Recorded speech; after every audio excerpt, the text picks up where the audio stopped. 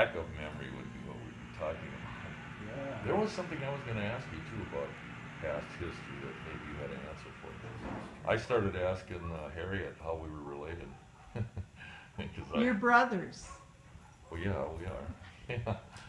And she said, uh, I think Al, Ed, Eldred said that was through Grandma Hagel, Yeah, I would guess so, that's.